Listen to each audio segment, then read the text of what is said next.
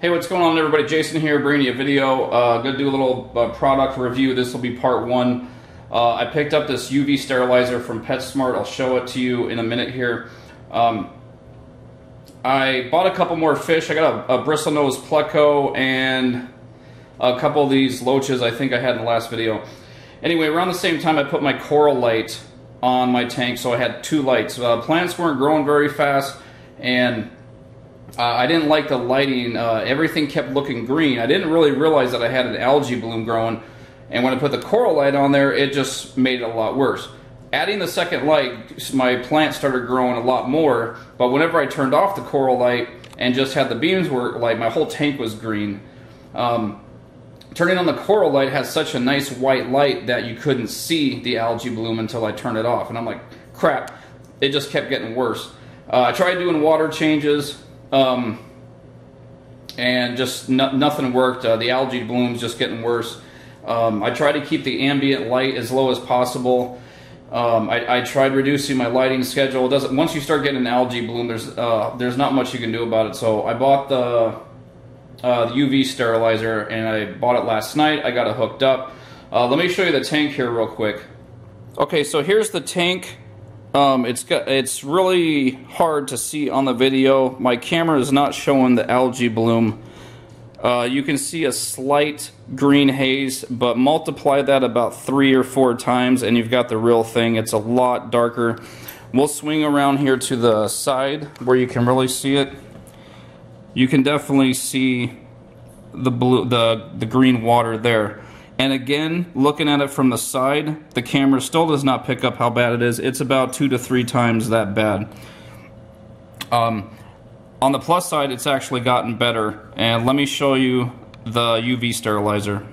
Okay, I picked this up from PetSmart. Uh, it's AA Green Killing Machine. This is the 9 watt, the small one. Uh, it's about cost me about 50 bucks. Um, I did have a UV sterilizer in my sump when I had my 75 gallon hooked up.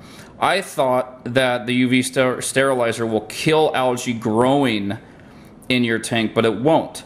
Uh, so I didn't think it was working, and I tried to find it yesterday, and I don't know what I did with it.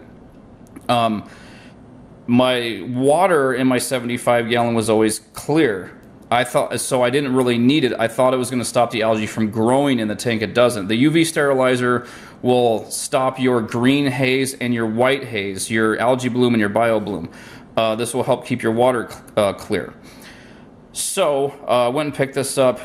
Uh, it had a lot of good reviews. Uh, probably the best you can get for the price. It's it's not the best one out there, but I don't have a lot of money to spend on this and my tank's not that big. It's only a 46 gallon bow front. Um, really, really easy to set up. Uh, not going to do an unboxing, obviously, it's already in the tank. Okay, let me see if I can throw in a couple of photos and, and give you guys a before and after real quick from last night to when I just got home from work right now, which is about almost 24 hours of having this in the tank.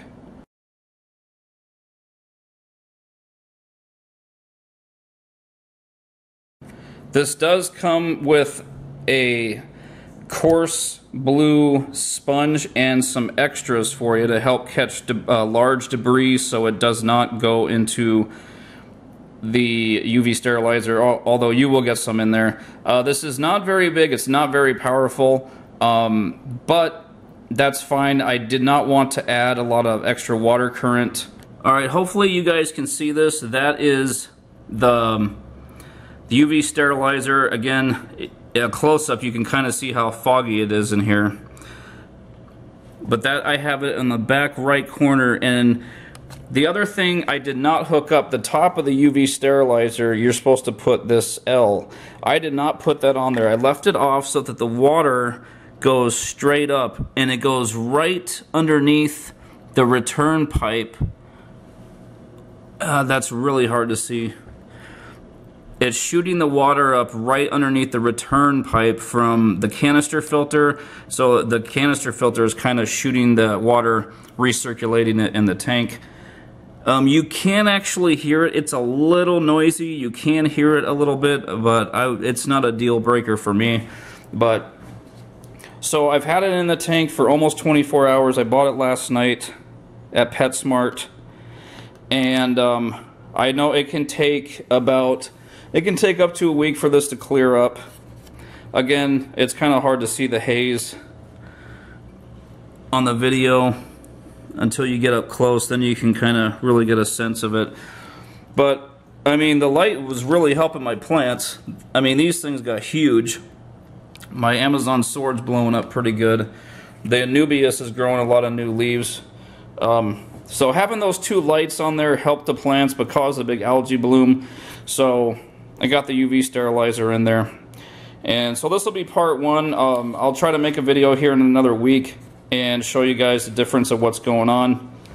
So again, this is the AA Green Killing Machine. This is the 9 watt. It was about 50 bucks. It's about that price no matter where you go. And we'll see how this works. Green Killing Machine. Thanks for watching, guys. I'll try to do an update here in about a week and show you what the tank looks like. Thanks for watching.